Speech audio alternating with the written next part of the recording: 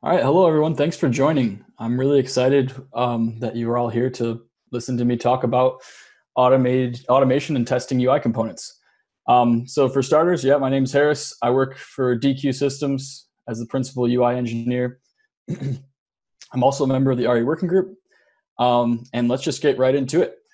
So what we're going to cover today is um, some test-driven development techniques. Uh, so we're going to actually gather some requirements and actually let me back up we're going to be building a menu button component. We, we kind of want to build it in a modular way uh, so it's nice and testable and we can reuse it in several different places in, in what we're going to build, which is like a demo app, a fake application. So we'll gather some requirements for that menu button component. We'll then write unit tests and then we'll implement the actual component. So you notice there's a interesting order there. We write our tests up front. Um, and I'll, I'll touch more on that in a minute. Then we will go on to uh, add some accessibility automation libraries. Um, and then we'll see what our, our new component looks like in a demo app. And then we'll look at writing some end-to-end tests for that demo app. And uh, lastly, we'll, we'll, we'll, tie everything together with uh, CI and CD, which is um, continuous integration and continuous delivery. So test-driven development. Um, and really, I, I, know people kind of argue about what's behavior driven development versus test driven development. All, all, that really matters here for the for the sake of this presentation is we're going to write our test cases up front um, based on some requirements that we're going to gather. And so the way this is going to work is that we're going to we're going to end up implementing all of our test cases before implementing any of the actual components. So we're going to be starting off with all of our tests failing but that's okay that's expected. Um, and then we're going to actually once once we have all our tests failing we're going to start implementing uh, this component and we'll know we're done once all the tests pass. I think it's a really, really useful technique. Um, it, it really f- helps you avoid testing your specific implementation details and it helps you just focus on the, the raw requirements of the desired behavior. Uh, so let's look at gathering requirements. A really, really useful resource here is the ARIA authoring practices. Let me go up to the top. So the ARIA authoring practices, let's zoom in a bit so y'all can see. So uh, the ARIA authoring practice is a great resource. Um, I use it a lot when I'm uh, going to implement a new widget. Um, really what it does is it describes um, kind of the purpose, oops, I clicked on the wrong thing, the purpose of a widget so you know when you should use it, why you should use it, how you should use it. Um, and so you'll see I have this menu button section open and it describes what it is. A menu button is a button that opens a menu, simple enough. Um, it is often styled as a typical push button with a downward pointing arrow uh, to hint that activating the button will display menu. So pretty simple. Um, we've all seen those. They're, they're pretty common. Um, and actually, before you get into anything else as far as the accessibility requirements, they link you off to some uh, demos because they know developers are like, yeah, yeah, cool. I just want to see this in action. So um, we'll look at that demo in a second. Uh, but but the the real value here in the ARIA authoring practices are, are these requirements they give you. So they map out for any given widget what the expected keyboard interaction will be and what the expected attributes being used. So that's the roles, the states, and the properties and the values. So really, really great resource to get some some raw requirements. Obviously, implement it following this and then do some testing because um, not every user agent and assistive technology um, has full support for this. So you always want to make sure you're doing testing beyond this. But uh, let's take a look at the menu button example. There are three of them because um, there's there's different um, different ways you can implement a menu button. I'm going to focus on this simple uh, element.focus one um, as opposed to this ARIA active descendant one where you actually leave focus on the, the trigger for the menu button and update an ARIA active descendant attribute. But we're going to actually shift real focus um, for the for the sake of this demo. So they have a demo. It's fun. You can you can actually play around with the widget, see uh, see what it's all about, see what you're about to embark on. Um, but I think the really awesome thing here is they actually have keyboard and attribute specific documentation for this exact example. Um, so what I like doing here is I, I take I take this, this these tables, this information here, and and treat them as as raw requirements, and I I've even sometimes just straight up copy and pasted these and used those as my test cases.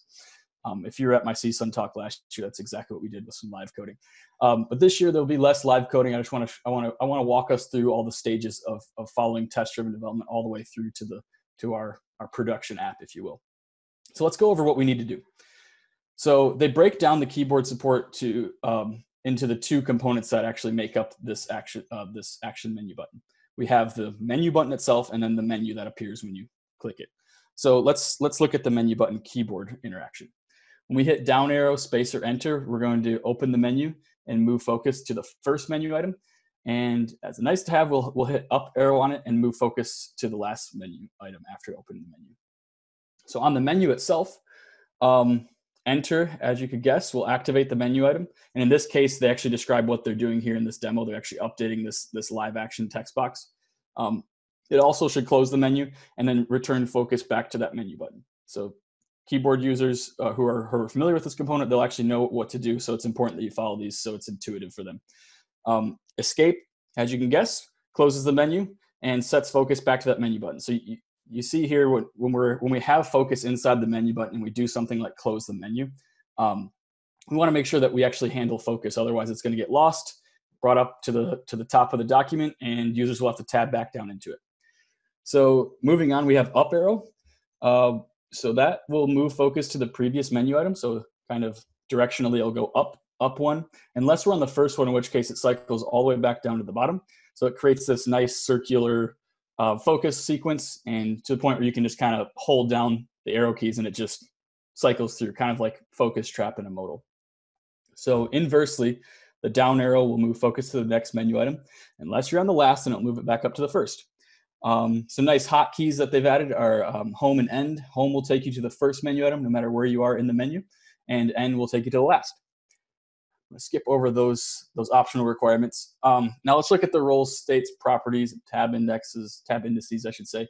Um, really, what you can think of these as is all the attributes that you need to set and or uh, manipulate as your um, widget goes into various states. So ARIA has pop-up true needs to be on the button.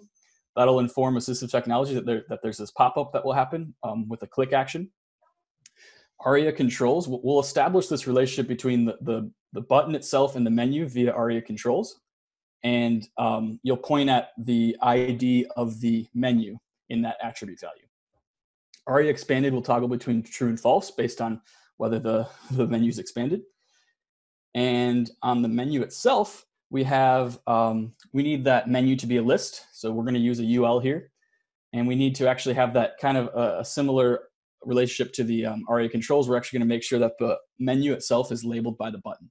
So the, the actual menu element will have an ARIA label by attribute that is the ID of the button. Each of the children, uh, LI menu items need to have a role menu item on them. And we're gonna give them tab index negative one because that will let us actually um, write our JavaScript key downs and shift focus programmatically to any given menu item based on these keyboard requirements. So that's a lot to take in, uh, but it's nice because the, the ARIA work or the, um, the ARIA authoring practices group, they actually did all this heavy lifting for you. And uh, now you got a, a nice set of requirements, some finite requirements here.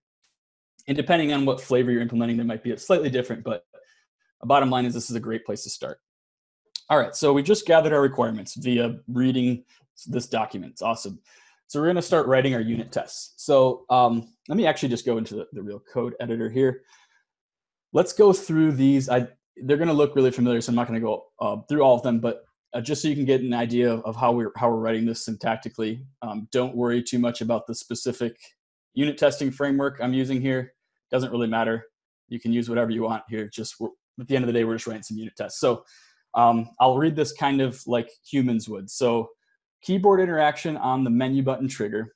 Um, when we press down arrow, we should open the menu, move focus to the first menu item. We saw that right here at the top of this table. So what I did is I went through all those requirements and translated them into kind of contextual uh, test cases. And so what we can get now, let me go to my terminal here. Um, let me make sure it's big enough. I blew it up a lot. Yeah, okay, that should be good. So I'm gonna run my tests and I've just written them as to do because I think it's like a nice like you can take take a deep breath before you go embark on this implementation journey and now you're like awesome i know exactly what i need to do and i'll i know when i'll be done because all these tests will be passing so we got our to-dos. This is awesome. We're well on our way. All right. So let's let's move on to the test implementations because i know i know you want to like as a developer you really, really want to start implementing this and styling it and making it all functional. Uh, but before we get there let's actually focus on our um, test implementations. Um, I've definitely found a lot of value in doing um, things in this order because I tend to be try to cut corners almost when I implement it first, and I'll I'll be privy to the the implementation details of my widget, and I'll like instead of firing a a click, I'll just call the on click callback, and then I'm left with this maintenance nightmare uh, if I decide to rename methods or, or, what have you. So it's really important to just kind of focus on this, um, this, these raw requirements because it'll allow you to refactor your component in the future, and these tests should still actually um, pass, which is kind of the whole point of tests. Is when you make changes, you want to know if you've broken uh, existing functionality. So this is awesome. Let's actually let me switch branches to, I believe it was failing. Yes, I'm switching to my failing branch. So I'm not I'm not quite doing live coding as you can tell. I'm just gonna gonna fast forward us to uh, the future. We just time traveled to Harris having written all these tests. All right, so let's look at a few of these actual implementations. So that same one that I just went through, when you press down arrow on the menu button, we're going to open the menu and move focus to the first menu item. So what I do is I, am going to mount my my wrapper. This is uh, wrapper is kind of a terminology used in in enzyme, um, but what you can really think of this as is um, I'm rendering my non-existent component right now. I think all it does is render a div this is React. Don't worry, I'm not. This isn't going to be a very React heavy or React specific talk. Um, that's just what I happen to choose to implement because I um, am most comfortable with that. But the, the same concepts here would apply to even writing a vanilla module. Um, you can there's there's uh, simulate um, libraries that will let you simulate uh, just vanilla JavaScript events. And so if you if you were just binding your key downs via add event listener, you can totally do the same thing. So I render my wrapper in, in JS DOM. It's like this pseudo document kind of fake browser like environment for me that I use for testing. And um, so I'll, I'll, I'll, render that wrapper. I'll find the button, which of course is the, the menu button trigger. I'm going to simulate an arrow down key down on it. So what I'll then do, so now that I've done that, I'm like I like the test says, I'm going to expect that the menu is open and that I've moved focus to the first menu item. So um, the property of the document um, that represents the currently focused element is document to active element. So we're going to basically make an assertion that, hey, the, the currently focused item is the first menu item. So I, I, I do wrapper.find role menu item. So see what I'm, it's important uh, what I did here with the selector because I'm actually forcing myself without even writing a specific test for it. I do have a specific test for it just in case, but I'm actually using selectors um, that are based on these requirements. Because remember, when we looked at the attribute section here, it's telling us that we need menu item on the LIs. So it's it's good for like CSS and JavaScript selectors to use these attribute selectors because it kind of forces you to uh, to follow these rules. So like I said, I'm, I'm, I'm asserting that the currently focused element is the first menu item. Um, the up is the exact opposite. Let's go to a couple more fun ones. Uh, yeah, here we go. So let, let's look at how we're going to update and manipulate that ARIA expanded attribute.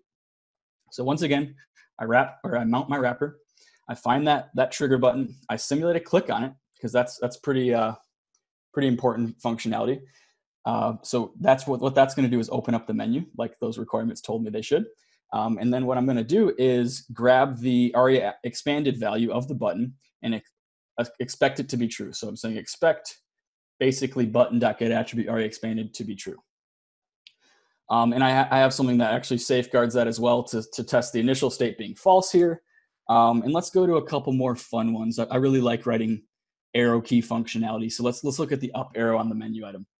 There's two there's two fun tests here because remember um, it should move focus to the previous menu item unless we're on the um, first, in which case it should go to the last. So I've broken that down into two separate tests because I think it's it's nice to separate those concerns.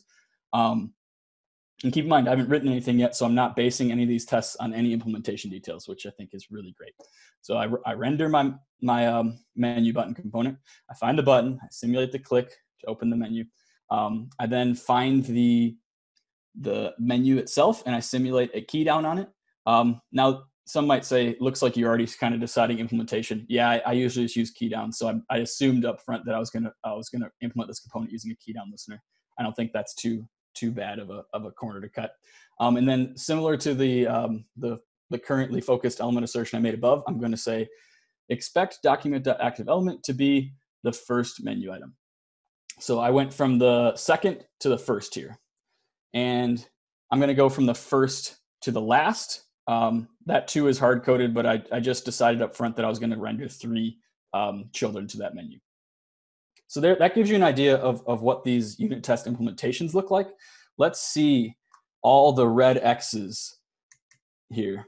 And don't worry, you're supposed to see them. Usually seeing failing tests will trigger you to be sad or, or up or a little frustrated, but here I'm actually expecting it. So yeah, as you can see, we got nothing but failing tests. This is awesome. This is what we were supposed to do. So let's go back to my README. Now let's do some implementation. Um, so I'm gonna check out a new branch, fast forward us a little bit. Let's git checkout. Uh, I think I call it passing. So let's look at our component now side by side with the tests because that's really how I how I started implementing this. I'm, I'm not joking that it, this is the order in which I implemented this project.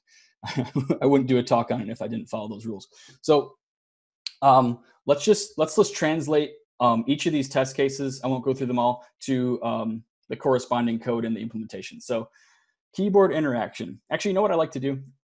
I'm going to start us off with role states and properties. I usually like focusing on, on the, the initial state, the initial render first. So that is the order in which I did this. So the element that opens the menu has role equals button.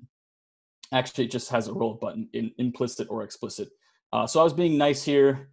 Um, I'm, I'm looking for a button or an element with role button, and I'm expecting it to exist. So usually I'd actually, I'd probably actually just go with this. I'd force, I'd force people to use this widget using a button, but um, I wrote the test just based on the requirements in, in the ARIA authoring practices, so I didn't want to decide anything up front. So let's go, let's see what we're doing there.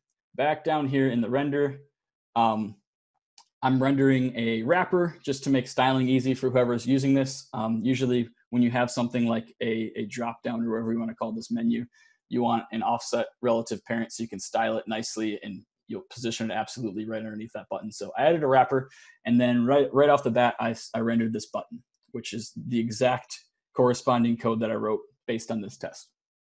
Uh, so the second requirement is that the this button element has ARIA has pop-up set to either menu or true. So the second thing I did was write ARIA has pop-up equals true here. Got to let assistive technology know what, what kind of component they're dealing with. Next up, we have um, the menu itself, as well as the ARIA expanded attribute. So I, I set, I'm like, okay, here, this is a stateful attribute. So when we say role states and properties, ARIA expanded is a state because it is updated based on the state of the component.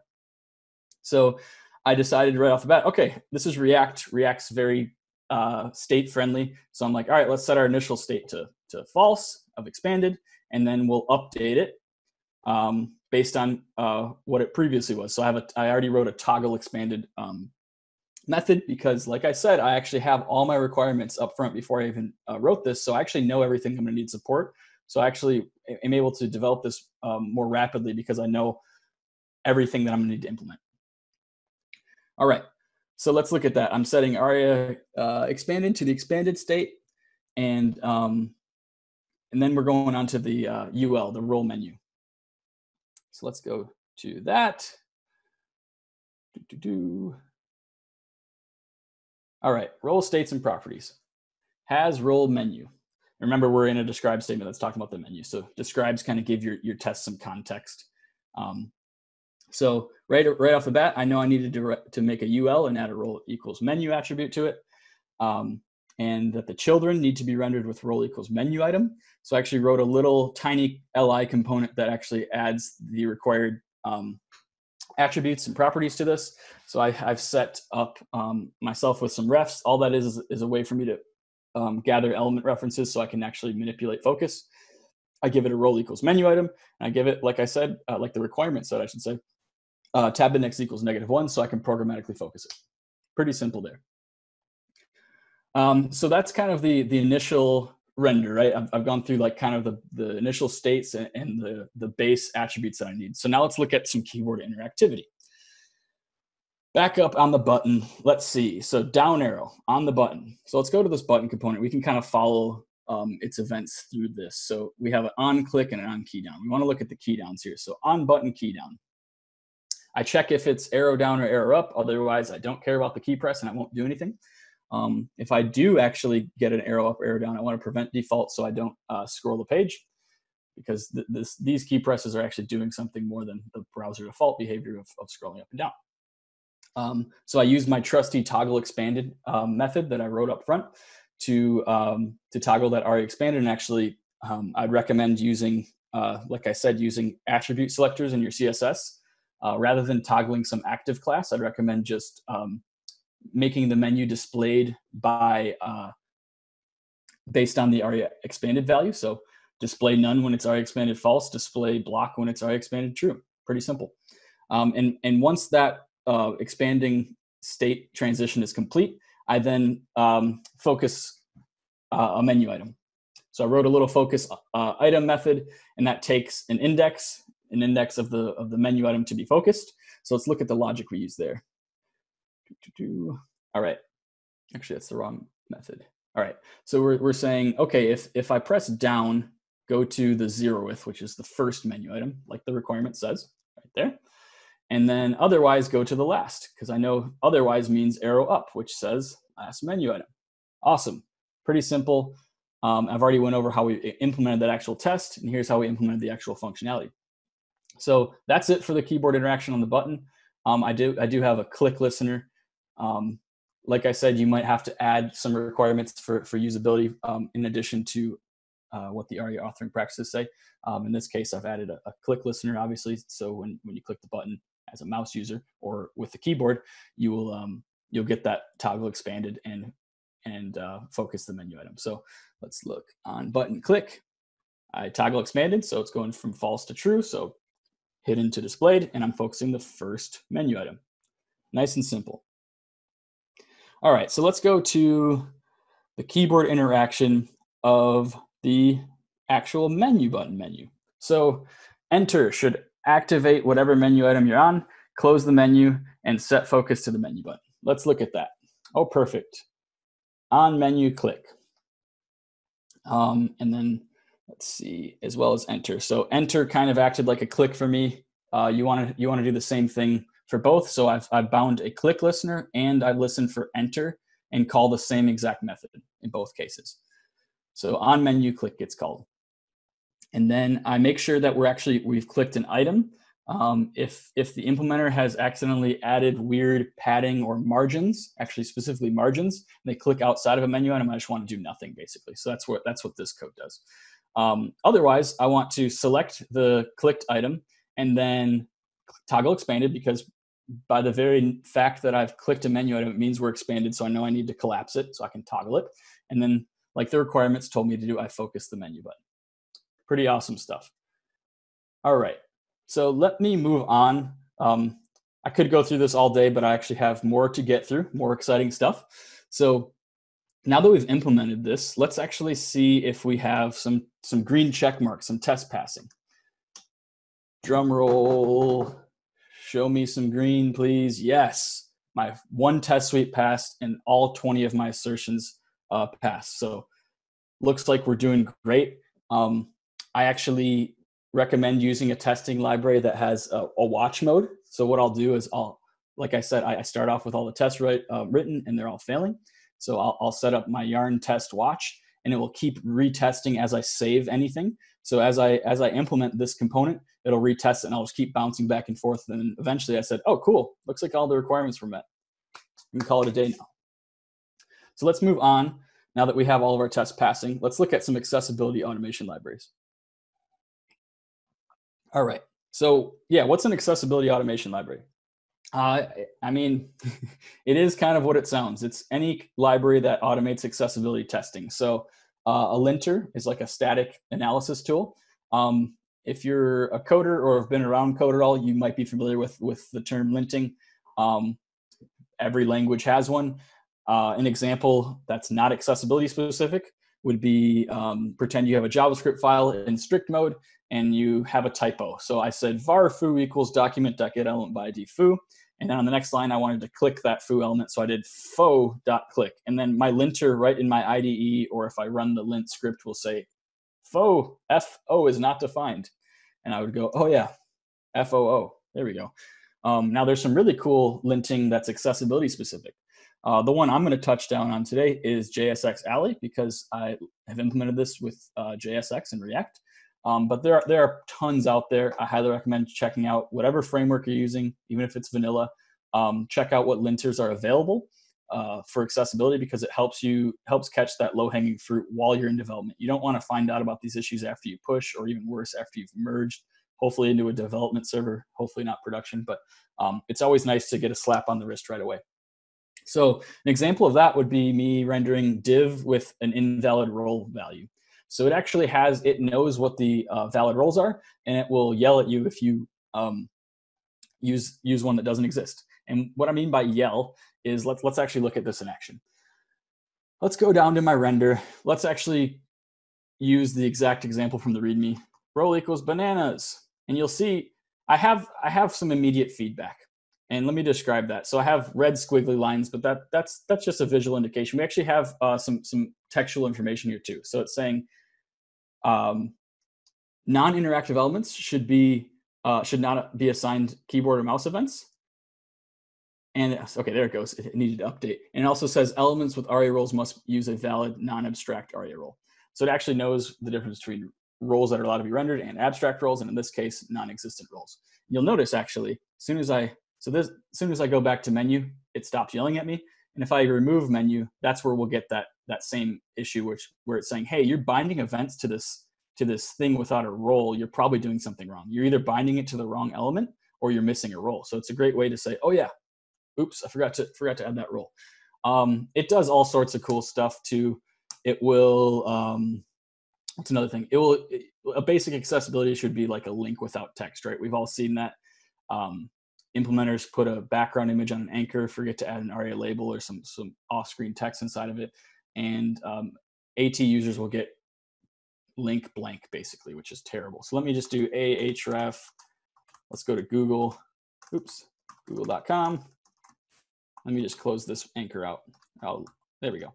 So it actually detected that for me. It says, hey, anchors must have content, um, and actually tells you why you can you can always click on these. So if you don't have a fancy editor, you can still do these. I've actually set it up uh, in this project to run these, these lint rules um, before you commit. I'll show you that at the end. Um, but I highly, highly recommend using um, these accessibility automation libraries because they make your life really easy. So the second type of accessibility automation library is uh, I want to talk about is Axe Core. Um, I work for Deque and Deque has created this think I saw Wilco was here. He's he's Mr. Axe Core. Um, it's a really awesome tool. It's free to use, open source. Um, it, there's a browser extension for it that you can get for Chrome or Firefox.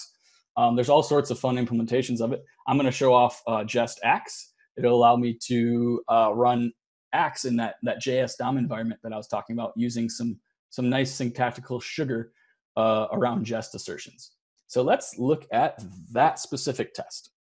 And actually, I've actually over the years found out a little trick. Um, and let me explain that in a minute. So let me check out uh, passing with Axe. So now I've added one more test, and that's it. And it actually is going to run Axe in every single state that I've tested. So I, have been I've been running Axe in my unit tests a lot, and um, I, I kind of like get it into various states deliberately and then run Axe. But then I was like, wait a minute, unit testing's already getting my widget into all the various states that it needs to be. So for example, I get it, I open up the, the menu and have focus on one of the menu items. And so I'm like, oh, perfect time to run Axe. So a lot of unit testing frameworks or libraries have a hook in to run something right after each test. So a perfect time for me to run Axe is after each of these tests. So what I'm going to do is run Axe or run my tests again. And what it's going to do is get the widget into whatever state I needed for, for the uh, ARIA authoring practice requirement, and then I'm gonna run Axe. So let's do this. Let's run our tests again. And you won't see anything different because this is an after each hook rather than a, a named assertion like children have tab index. Um, but let me show you how it's working because because it's really going to run through all the tests and run this right after. So let me just throw a console log. Axe clean. Woo!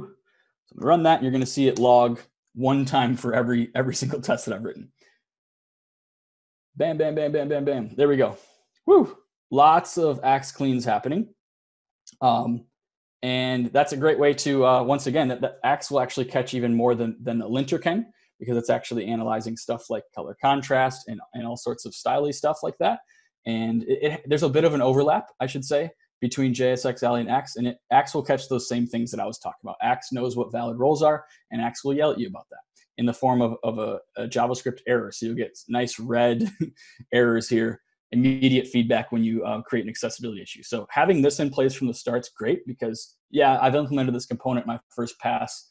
Maybe it turns out we get some new requirements for it needs to do all sorts of other things. Now I have these baseline um, features tested and I have um, accessibility automation baked in here. So it will actually, maybe even if I follow, if I follow the ARIA authoring practice rules, I might actually create um, additional accessibility issues. So having this in place from the start is awesome. It'll keep me in check.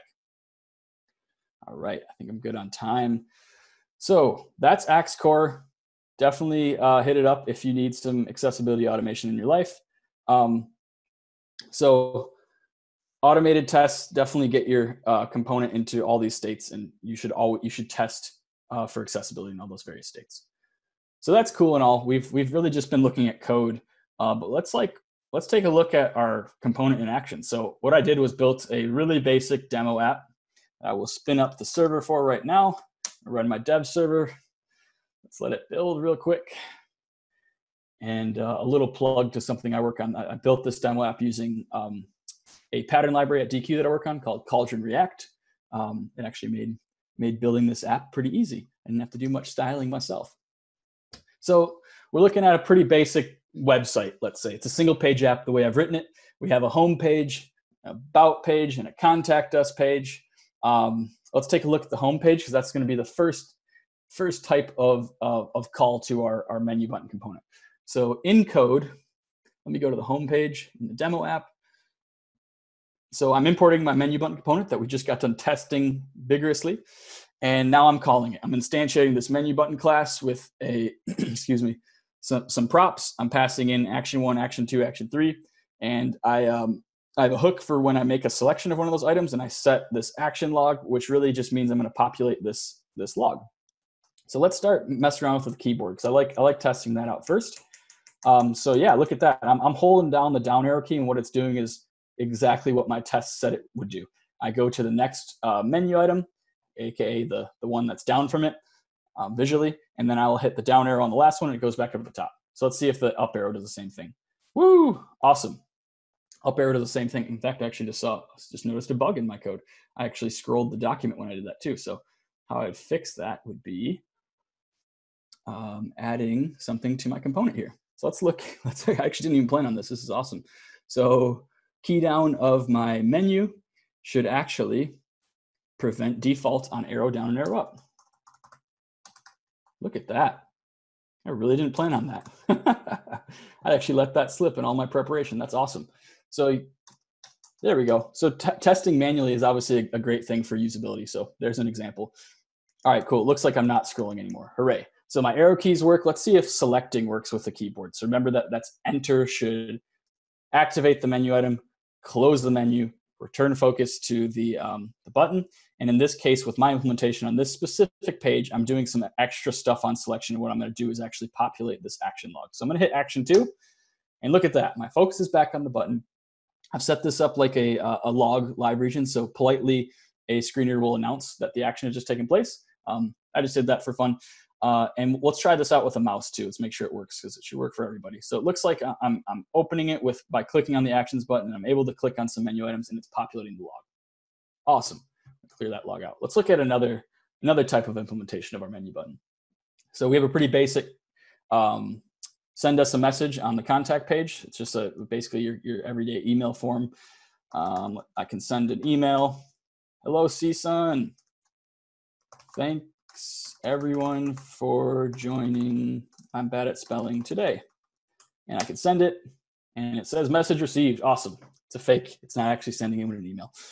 Um, we can do fun stuff with this with this action with this um, menu button here. So I have a menu button in the top corner of this send us a message form. Um, you can it's a common use case for a menu button to have like you know some additional actions. So what I did was I souped this form up with a saved draft functionality. So if I'm in the middle of something and I need to go get lunch, I will uh, I'll be able to click our uh, menu button, open up that menu, and select the Save Draft menu item. And what that does is close the menu button. And actually, I'm going to do something non-standard. So I'm actually manipulating focus myself because I have um, I have some content change that I want the user to be, be immediately aware of. So what I did was focus that Save Draft section, and now you can actually look at your drafts. It has a subject, the message. You can use it or you can discard it. So let me actually clear the form, which is the second um, menu item uh, in this Actions menu button thing. And I'm to click Enter. And now that I've cleared the form, I'm going to say use draft. And look at that.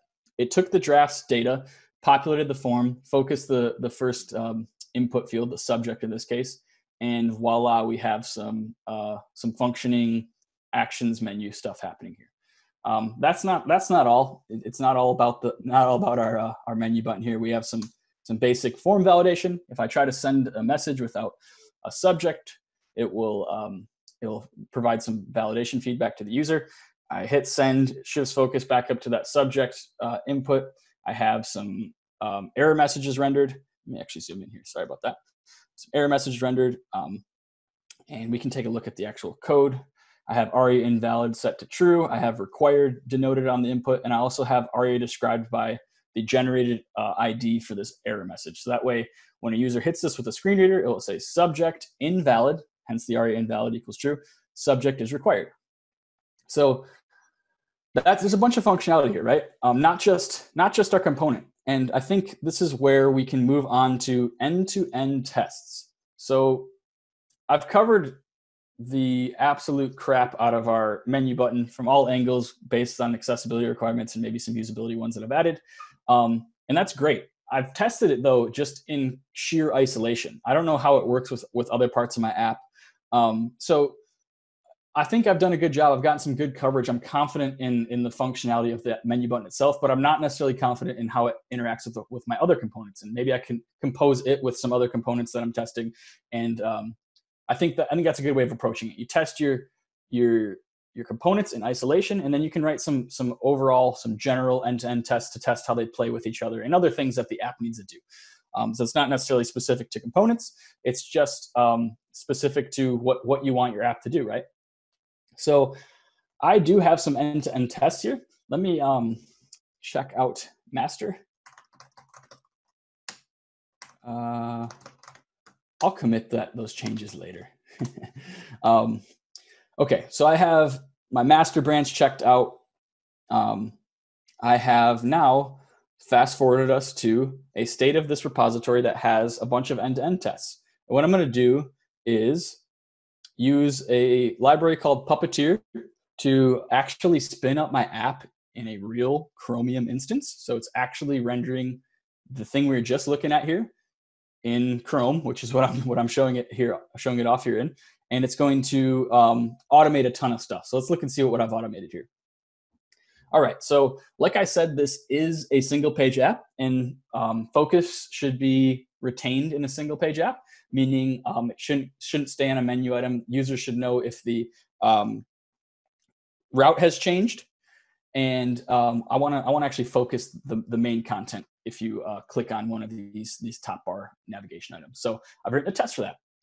So it's, it's, it reads pretty nicely. Um, that this is just the Puppeteer API. I uh, before all these global tests, I spin up the browser. I tell it to go to the homepage, localhost one two three four, and uh, I make sure it's loaded by waiting for my main content to be rendered. All right, so my first test says manages focus on route transition, and you'll see I'm actually just using jest here for these two. So there's not a huge difference um, of the feel when I'm writing unit tests versus when I'm writing uh, end-to-end tests. So what I do is I click the uh, looks like the the second um, menu item. So it looks like I'm going to about just because I'm already on the home page. I want to make sure I transition. And then I make an assertion that the main is focused. So Puppeteer lets me evaluate JavaScript in that, that real Chromium instance that it's that I'm driving here. And so I say, hey, let's let's make sure that the document.active element is the role main thing. And so I expect this variable main is focused to be true. Uh, similarly, I have a skip link on this in this app, and I want to make sure that the skip link actually is, is managing focus too. So I focus the skip link because a skip link is a funny thing in, Puppeteer wouldn't let me just click click it while it's display none. So the skip link actually goes from display none to display block um, based on whether it's focused or not. So I first I focus it to make it visible so we can actually click it, and then I click it, and then I run the same exact assertion. I expect the main content to be focused.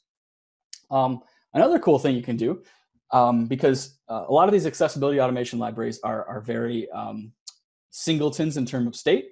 Axe Core will, will test your, your, your current state very thoroughly, um, but it's up to you to get your, your um, app into different states. So one thing that people often miss are um, hovered and focused states of links. So we have a we have an actual end-to-end test that that forces us to um, ensure we have a good enough color contrast, not just in the initial state, but um, in the hovered and focused states. So I'll actually show what it's like to fail that here at the end of this talk. But um, I've I've set it up now to have a, a nice contrast. You get a you get a focus ring, and you actually get a color change uh, on hover and focus. So um, I have an end-to-end test that actually um, forced me to make that accessible. I'm not going to go through all of these. But I will go to the contact one because I just went over all the, the interaction heavy things that happen on that page. Um, and I, I want to show you guys what, what all I've, I've been able to test. So I go to the home page again, I click the contact link and I wait for the contact actions. And um, right off the bat, I'm, I'm, like I just talked about Axe being stateful or being a singleton in terms of state. I test, I, assert that I'm Axe clean in the default state. We like saying hashtag Axe clean um, and I urge you to call it the same thing. um, and then we have all the all the different form states that I was showing off. So I uh, it, I get the form into all of it, all the various states that it has in all these tests. And similar to my end-to-end tests, or sorry, to my unit tests, I'm doing the same thing in my end-to-end test. So I'm just running Axe on the page, and I'm asserting that that Axe returns zero violations. So that that's the case for the state in which I clear the form, in which I um, have some validation on the form, and I focus the subject field when, when various um, uh, menu button actions have taken place. So I'm, i click the, the menu button trigger, that's doing this, and then I click the second one, clear, and then I'm making sure that I focus the subject field when I clear the form, which it does. So that gives you an idea of what you can do with end-to-end tests. Um, as you can see, like it's it's not all about what your your single component does. It's nice to test um, what your what your app's doing, and I think a good place to do that is an end-to-end test. All right, so let's see what these look like, and I can actually show what these look like by um, by default. Puppeteer will run headless, which means you won't see anything that's happening. It's just running in an invisible browser that you won't see and that's usually what you do for speed and everything. But I'm actually going to tell it to show us what's happening. It's going to be pretty fast. I apologize for that. I tried to slow it down a bit um, without having my, my test fail and timeout. So I gave it a 700 milli, 750 millisecond uh, slow-mo option. So it actually, we can, we'll be able to kind of see what's happening. But um, I've already described what, what I'm driving the browser to do. So uh, let's take a look. Um, and let me make sure I've built my code first. Cue the Jeopardy music. All right, and then we'll go ahead and run our end-to-end test now.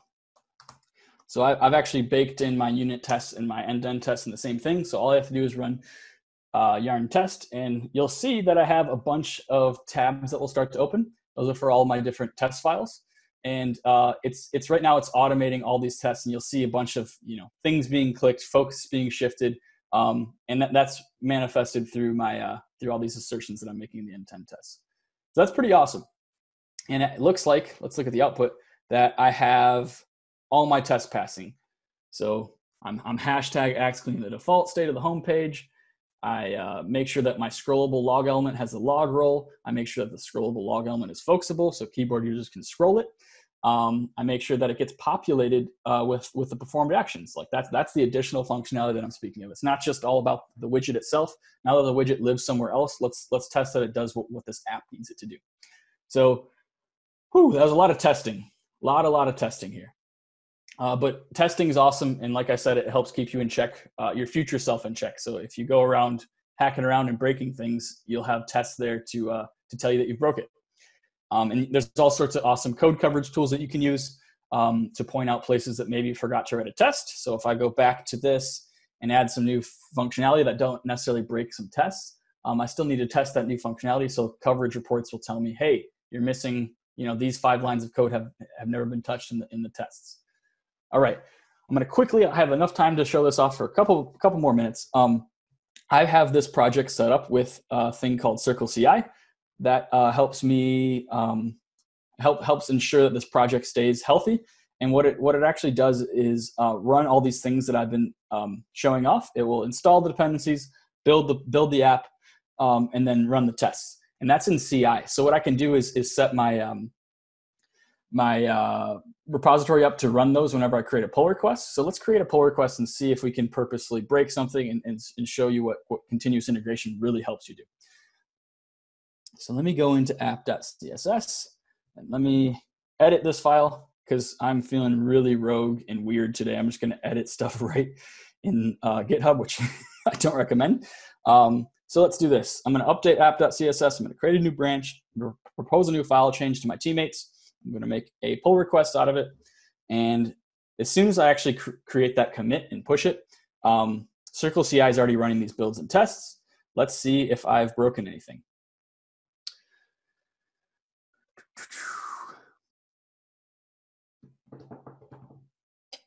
And it is queued, so I might not get it immediately.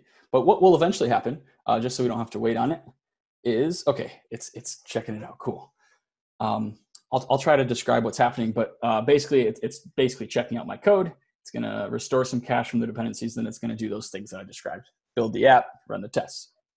You'll see a bunch of other uh, output here in my pull request. Um, this kind of ties more into the CD. So I said I was going to cover CI, which is the Circle CI thing, obviously. Um, continuous integration. I'm running my tests for every commit. I'll get nice feedback in my GitHub pull requests if I if I break stuff. You can um, even set it up so, to prevent merges when you do have a failing build, which I highly recommend. Um, a little thing I like to call uh, no merge till hashtag axe clean. You can say, hey, teammate, I'm not clicking this merge button until you till your uh, axe clean or all your tests are passing. So let's see. Uh, what I did, uh, the code change is I removed that um, that contrast on the uh, focus and hover, and it looks like we have invalid contrast. So Axe actually saved the day here. And Axe ran the, those two assertions. Remember how I said I wanted to test um, various states of those footer links? So I actually simulated a hover, I simulated a focus state, and sure enough, Axe kept me in check and said, hey, hey, you don't want to remove that. Or you want to make sure you have uh, sufficient color contrast according to WCAG. So um, my continuous integration actually save the day here. And um, maybe to a coder viewer, I know this change looks kind of obvious, but maybe a change you make uh, isn't as obvious, and it's nice to use use automation to your advantage. Um, now, the CD side of things, the continuous delivery side of things, is uh, a little thing I like to call Netlify. There's plenty of other ways to do it. You can do it yourself. Um, Netlify is a really, really easy thing to get up and running. Um, and actually, I've set this project up with it, and it will actually deploy previews of the um, of the current branch. So I just made those footer link changes, and check it out. The the browser default um, hover and focus states take over. And we have, look at that, we have uh, a dark blue on a pretty much black footer. So that's not contrasting enough. And so Axe told me that. So another great thing about continuous delivery is if, if you want to see your, your teammates change in action, you want to test some things out because the code looks fine, but maybe you want to pop a screener around and make sure that they tested it. Um, Netlify or whatever continuous delivery you're using will help you catch all of that. All right, so I'm pretty much done. I want to thank everyone for, for listening to me talk about automation today. Um, and uh, I've been Harris. I think we're going to go to questions now. Yep, we're going to go to questions. Um, we have about eight minutes, so we'll try to fit in as many as we can. Uh, but I think the number one question was, uh, can is this um, GitHub project public or can it be made public so um, our, our participants can get hands on it? Oh, you're on mute. Sorry about that. Uh, yeah, I'm actually getting getting clearance for that right now. Um, I assume I'll have an answer for that uh, shortly. So I, I, assume in all likelihood it will be. At the very least, I will um, open source this this README, and I'm pretty sure I'll be able to do the whole project. Awesome. Thank you. And we will, um, you know, if and when we get that confirmation, we're happy to send the link to the project around in the slides and recording email. Awesome. All right. Um, here's one. Is, if the focus cycles endlessly, is there a way to tell when you've gotten to the end of the list so you could stop exploring once you've encountered all the options? Um, I think it depends. Um, I'm not sure uh, every screen reader will actually tell you that, but when you do enter the menu for the first time, it tells you how many menu items there are. So you can infer that. And um, if you were traversing, yeah, I think the, the only way to tell would be to, to notice that, okay, it said there's three items. I just went to the third, and now I must be back to the first because the, the text of the first menu item is read out. So I think your results may vary based on assistive technology, actually. Great. And quick question, um, what, which editor were you using in this demonstration? Ah, good question. I was using uh, VS Code, and Great. I think I think I've used the basic pretty much. I, I don't have any fancy settings other than um, the uh, ESLint plugin, and that allowed me to get that uh, nice immediate feedback in my IDE when I do role equals bananas. Um, that that's what allowed me to get that that live as I type um, feedback with my linter. Uh, other than that, I think I'm using the, the stock syntax theme. So this is pretty much VS Code out of the box. Great. Uh, what testing infrastructure do you recommend for using Axe to test React components? The traditional ah. model of Selenium, something else? Good question. So I think it depends on what you're testing. So um, I think I, u- I used what I would recommend for, for both types of testing. So um, I was using, for the unit test, I was using Jest Jest Axe, which actually I, I should have actually gone over that. Um, let me go into my test utils and my setup tests. I'm actually extending Jest stock expect with um, some additional things that Jest Axe provides, and that will allow me to make an assertion of, um, let me just show you, expect and then a thing inside of inside of expect to have no violations, which is just a shortcut for awaiting Axe dot results or awaiting Axe's results and, and asserting that results dot violations dot length is zero. But it's a it's a nice um, shortcut to that. So I'm using Jest. I'm using Enzyme to mount my components. Um, Jest, I believe, under the hood is using JS DOM, so that's the that's the headless browser that's being used. Um, and uh, Jest comes with the reporter. It comes with a coverage tool, and um, it comes with the assertion library. So uh, pretty much just Jest, Jest Axe, and Enzyme for this for the unit tests, and for um, for end-to-end tests. If you want to do full browser, I think you said Selenium. I think Selenium's great. Puppeteer is awesome. I haven't had enough time to play much with Playwright, but that seems really cool. There's a ton of awesome real browser-like things that you can drive, and I, I think it just depends on uh, what your needs are in the given project uh, to, to, help you make that decision. But I know Selenium's been around for the longest, and a lot of people are, are uh, already writing tests in that, and there's I don't see any problem with that. I just prefer Puppeteer because I'm more familiar with the API. Awesome, thank you. Uh, does the Axe library have to be imported in the actual web page code for someone to be able to run E2E tests? Uh, yes. So I have a pretty basic um, helper here called Axe. And what I do basically is inject Axe into the page um, if it's not already there. So uh, what that looks like is I uh, read the contents of the file and inject it into the page. And then I evaluate, I do page.evaluate, which I, I use in the end-to-end tests too, I showed everyone. And that was um, a way for me to execute JavaScript in the, in the script of the actual page, not just in my test script. So uh, here you'll see I return axe.run. So then when I call this, I can say await Axe results and it just does it for me. So I wrote a little helper so I didn't have to keep writing this, but yeah, I did have to manually inject Axe into the page. Um, I believe there there's a, there's a library called Axe Puppeteer that, that does some of that for you, but I did kind of want to show everyone how that would work uh, manually. Super. Um, how do you decide which tests should be coded in unit and which ones in E2E? Yeah, it's a really, really tough question that I'm probably not uh, smart enough to answer. Um, just based on my experience, I, I tend to to break it up like I did today. I tend to test my individual pieces in unit tests, and there might be a little overlap. So effort wise, maintenance wise, maybe that's not the best um, approach to what I did, but I, I tended, like I said, I test my, my individual components and widgets in isolation. Um, like I said, I was using Cauldron React. Each Cauldron React component has its own uh, set of uh, suite of unit tests. Uh, but when I when I when I composed all those components together into this app, I decided to uh, that it was a good place to um, to run my end-to-end tests for demo purposes. Uh, I will say I probably could have tested all the things that I did in my unit tests uh, technically by by mounting uh, an enzyme this whole app. Um, but I kind of like doing stuff in the real browser uh, so you can see what's going on. It feels more real, but um, I will say I could probably accomplish everything that I tested just in unit tests. So there's a ton of articles. People are super opinionated on it. Um, I don't have too many strong opinions there. Uh, I just do whatever whatever I feel whatever I feel is right. Uh, I don't think you can get it wrong. I think I think um, inversely of what I said, I could have tested everything in end-to-end tests. It's all about performance and timing. Um, but yeah, I think I think as long as you're getting some some good test coverage and you have some accessibility specific tests, that's all I care about. And you're doing good if you're doing that. Sorry, I don't have a good answer for that question. Oh, that's great. Okay, I think we have uh, time for one more question. Um, in regards to the up-down arrow uh, that to go throughout the menus, how do you go to the menu items which are placed vertically slash horizontally? Is it the same as up and down arrows? Ah, so uh, I think I assume we're going to be talking about like sub menus and stuff.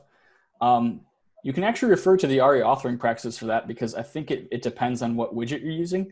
Um, so off the top of my head, yes, it does actually make a difference. So I think if you have like a your standard um, vertically oriented menu that has uh, sub menus, you'll actually down arrow through the top level items, and then you'll use the right arrow key press to open that menu, and you'll shift focus into the sub menu. And then once again, you're using um, you're using uh, up and down arrow go, go, through it. But like your question was asking was the vertical ones, and uh, that would be more like a menu bar that I clicked on. And, and you, are absolutely right. When when a screen reader user hits that menu bar, they'll actually know to use left and right. Um, I think some people code it to use both, so down and right do the same exact thing. Um, but you can you can uh, obviously refer to uh, the ARIA authoring practices, and they'll actually tell you everything you need to know about um, about these these key presses that you're